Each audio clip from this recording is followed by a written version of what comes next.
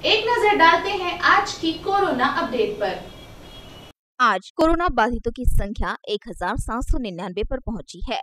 कल तक कुल एक हज़ार छह सौ सड़सठ बाधित थे। 24 घंटे में 132 बाधित सामने आए हैं। मौलाना आज़ाद वार्ड, बल्लारपुर के बावन वर्षीय पुरुष की कोरोना से मृत्यु हुई है।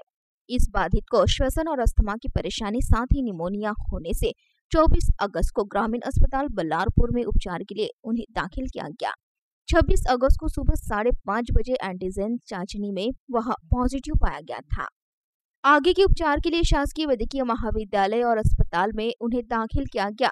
बाधित को कोरोना के साथ ही श्वसन, अस्थमा, साथ ही ब्लड प्रेशर निमोनिया होने से 26 अगस्त को शाम शासकीय वैद्यकीय महाविद्यालय और अस्पताल में उनकी मृत्यु हुई।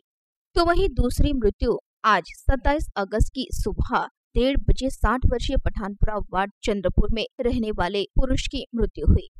कोविड केयर सेंटर वन अकादमी से 25 अगस्त को दोपहर तीन बजे उन्हें श्वसन की परेशानी होने से शासकीय वैद्यकीय महाविद्यालय और अस्पताल में दाखिल किया गया था। काफ़ी प्रयासों के बाद भी 27 अगस्त की सुबह डेढ़ बजे शासकीय वैद्यकीय महाविद्यालय और अस्पताल में बाधित की मृत्यु हुई। इस बाधित को निमोनिया, साथ ही श्वसन और शुगर की बीमारी थी। पिछले 24 घंटे में इन दो व्यक्तियों की मृत्यु हुई है। उपचार ले रहे बाधितों की संख्या छह सौ छियानबे है।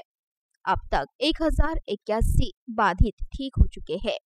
तो वहीं चंद्रपुर के 19 तेलंगाना का एक, बुल्डाना एक और गढ़चिरौली एक ऐसे कुल 22 बाधित की मृत्यु हो चुकी है।